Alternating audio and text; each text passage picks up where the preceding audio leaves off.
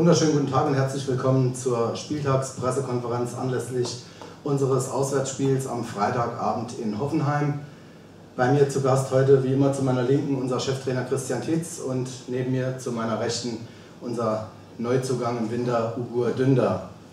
Ich beginne mit dir Christian. Christian, die Rückrunde oder die Restrunde hat nicht ganz so begonnen, wie wir uns das erhofft haben beziehungsweise wie es die Fans erwartet haben, kann es daran gelegen haben, dass die Spieler etwas verkrampft waren aufgrund des Druckes, der von außen auf sie eingewirkt hat?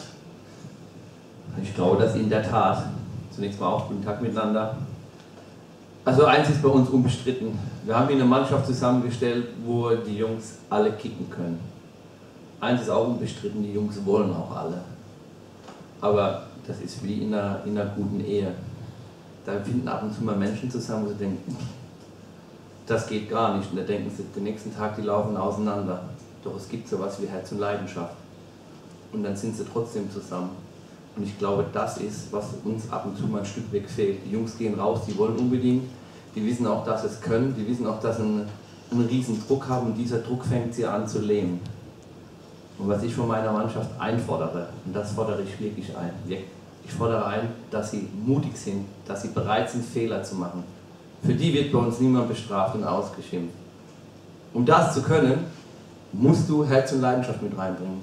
Denn Herz und Leidenschaft schlägt Angst und Selbstzweifel. Und wenn wir das machen, werden wir als Sieger den Platz verlassen. Und wenn wir es dann nicht machen und es hat nicht gereicht, dann geben wir uns alle die Hand und dann kriegen trotzdem alle eine Gratulation, weil sie alles rausgehauen haben. Mehr will ich nicht. Ich glaube übrigens, mehr fehlt uns nicht. Ja, Christian, beim letzten Spiel konnte man feststellen, dass also im Gegensatz zur Vorrunde oder im Vergleich zur Vorrunde deutlich weniger Pässe gespielt worden sind im, im Gesamt über das ganze Spiel gesehen. Äh, hängt das mit dem Zustand des Platzes zusammen oder worauf führst du das zurück? Schwierige Frage, da Politikum. Aber letztendlich kann man oder möchte mich auch dazu mal positionieren. Ich bin hauptamtlicher Cheftrainer und mein wichtigstes Arbeitswerkzeug ist das Spiel- und Trainingsgeläuf. Und es ist in der Tat so, Deswegen schaue ich auch sehr positiv nach Hoffenheim, wenn wir auf ein gutes Geläuf kommen. Spielen mehr um ein Vielfaches mehr Pässe, was dazu führt, dass der Gegner viel weniger Spielanteil hat. Bei uns ist dann teilweise die Ballbesitzzeit 10, 12 Minuten höher. Das bedeutet, wir haben mehr Chancen, Tore zu erzielen. Das bedeutet, der Gegner hat weniger Möglichkeiten, seinerseits ein Tor zu erzielen. Es kommt mehr Stress. Hier fahre ich morgens wirklich hin und habe jeden Morgen die Sorgen, ist der Platz heute gemacht oder ist er nicht gemacht. In den meisten Fällen ist er übrigens nicht gemacht.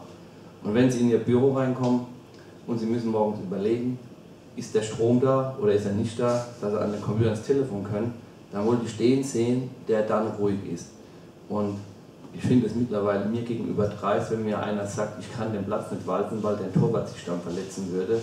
Oder wenn du kommst und das verlangst, werde ich krank. Entschuldigung. Ich glaube, wir haben hier alle ein Ziel und das lautet, dass wir so erfolgreich wie möglich Fußball spielen wollen. Und der FC Homburg hat sich verschrieben und ich hab, habe immer gedacht, mit allen, die hier anwesend sind, auf Profifußball. Und dazu gehört ganz einfach ein guter Trainings- und Spielrasen. Mehr, mehr möchte ich gar nicht. Und das ist auch nichts Bösartiges, sondern es ist einfach die Grundbasis, die wir benötigen. Christian, am Freitag geht es nach Hoffenheim. Eine Mannschaft, die letztes Jahr noch im oberen Tabellendrittel gespielt hat, jetzt äh, mitten im Abstiegskampf steckt. Wie gefährlich ist diese Situation für uns und das, was erwartet uns, denkst du, in Hoffenheim? Also so 23 Mannschaft ist wirklich so eine kleine Wundertüte. Die haben Jungs drin, die können alle gut Fußball spielen, die sind taktisch gut ausgebildet, die kommen ja aus dem Leistungszentrum, die haben Technik, die haben Speed. Ich habe die Mannschaft auch in Offenbach spielen sehen und wer denkt, das 3 spielt das Spiel wieder. Hoffenheim hat Spielkontrolle gehabt und deutlich mehr vom Spiel. Aber wie das bei jungen Mannschaften oftmals so der Fall ist, Spieler brauchen Zeit, um sich zu entwickeln und machen halt unter Stress noch oftmals mehr Fehler wie erfahrene Spieler. Wir fahren dorthin und die können auch die Tabelle lesen. Wenn Kassel gewinnt und sie verlieren gegen uns, rutschen sie wieder richtig unten rein. Deswegen erwarte ich da eine Mannschaft, die brennen wird, die alles raushauen wird, was sie drin hat, aber trotzdem versuchen mit Fußball zu spielen. Und jetzt kommt das Aber, das Große. Da müssen halt wir mitspielen. Und ich glaube nicht dran, dass meine Mannschaft da mitspielt. Ich glaube, dass es an der Zeit war, ihr auch mal einen Weckruf zu geben, aber ich weiß auch um die Qualität und Stärke unserer Truppe. Und deswegen fahren wir mit Respekt und dem Wissen, dass wir auf eine gute Mannschaft treffen nach Hoffenheim, aber mit einer klaren Zielsetzung, drei Punkte einzufahren. Das bringt mich zu meiner letzten Frage, die ich dir immer stelle an dieser Stelle. Wer ist fit? Wer fällt aus? Wie sieht der Kader aus gegen Hoffenheim? Eine, eine schöne Frage heute, weil das habe ich leider nicht, der Trainer bin selten. Wir haben nach wie vor mit Oskar Mbele einen Langzeitverletzten, der aber wahrscheinlich Anfang Mitte März endgültig ins Training einsteigen kann. Wir haben leider zu, zu bedauern, dass Patrick Ibero-Palis sich nochmal schwer verletzt hat und nochmal zwei, drei Monate ausfallen wird. Aber das war es dann auch schon. Alban Ramay trainiert die Woche. Da muss man schauen. Reicht es zu der Anfangsformation oder zum Teileinsatz? Er wird aber definitiv im Kader stehen. André Kilian hat nach seinen Hüftproblemen und dem Zehenproblem, der hat Arthrose im Zehengelenk, das so eine, eine kann, nicht eine Musarthrose ist, die tritt halt auf, wenn, wenn ein Schmerzzustand entsteht durch ein drittes bei ihm passiert, er wird aber auf die Zähne beißen, das heißt André wird auch im Kader stehen und wenn André grünes Licht gibt, wird er auch spielen, weil André das Herzstück unserer Mannschaft ist, das hat er auch gezeigt, wie er eingewechselt worden ist. Und Emil Null wird zurückkehren, Emil als Typ mit seiner Präsenz, mit seiner Kopfballstärke, mit seiner Willensstärke, und halt mit dieser Eigenschaft Herz und Leidenschaft. Ich glaube, die drei Spieler werden unserer Mannschaft momentan gut tun, werden sie mitreißen und deswegen ein schöner Zustand, dass wir fast alles an Bord haben. Vielen Dank, Christian. Ugo, wir kommen zu dir. Vor einem Jahr etwa bist du vom FCH in die Türkei gewechselt. Wie war deine Zeit dort dieses Jahr?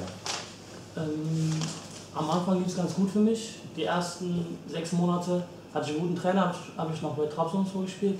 Guten Trainer, äh, guten, gute Trainingsplätze, gut trainiert, aber dann wurde der Trainer entlassen. Wurde der Trainer entlassen und ähm, dann lief es halt nicht mehr so gut, wurde ich ausgeliehen in die zweite Liga.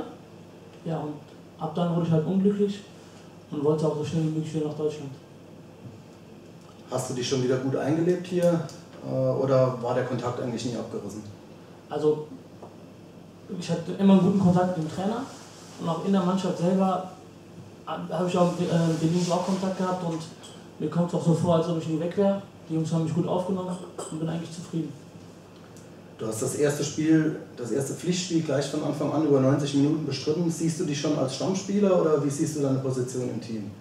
Ich denke, jeder Spieler hat seine Stärke, die er für die Mannschaft einbringen kann und meine Stärke ist halt äh, Zweikämpfe gewinnen und die Laufbereitschaft.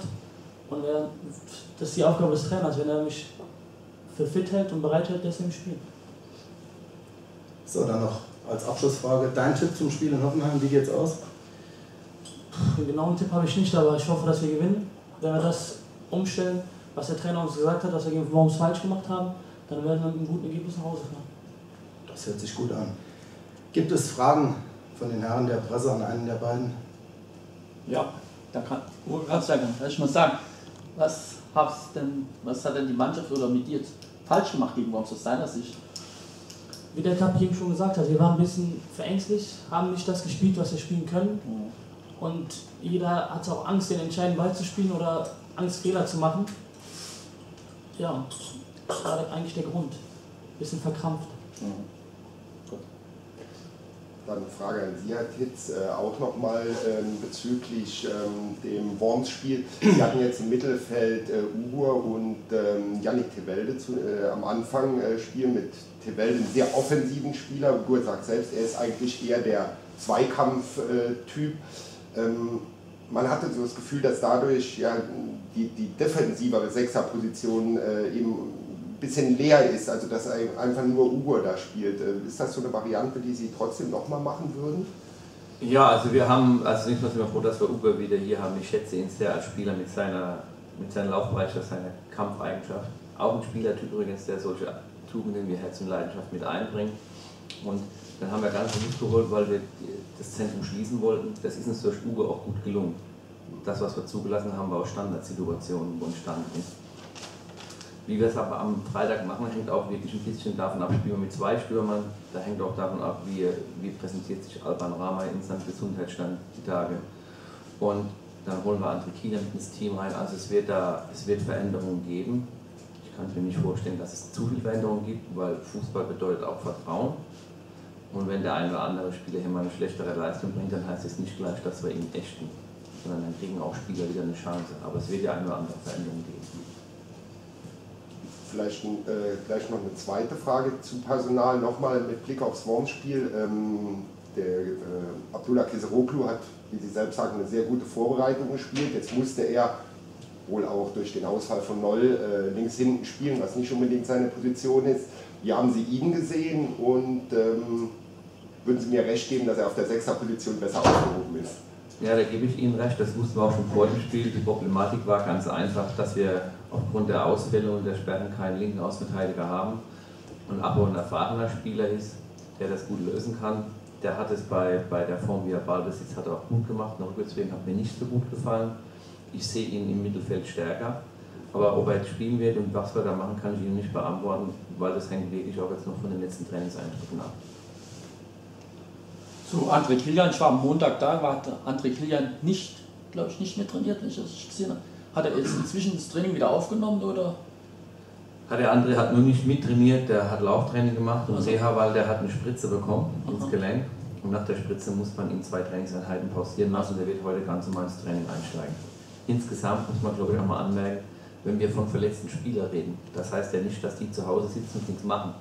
Die sind bei uns trainieren. Teilweise laufen sie, teilweise fahren sie Rad, sie machen Stabilisationsprogramm, Krafttraining, werden bei Physios behandelt. Also die müssen in der Regel mehr machen wie die Spieler, die fit sind. Vielleicht eine Frage so ein bisschen äh, zu Ihrem persönlichen Befinden nach dem Spieltag. Im Prinzip ähm, sind ja die anderen Spiele noch so ein bisschen zugunsten äh, der Homburger gelaufen. Also ich glaube Mainz unentschieden, Trier unentschieden.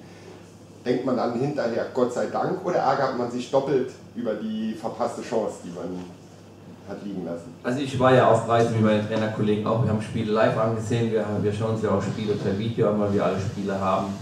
Und glauben Sie mir, die Verärgerung, die hat überwogen.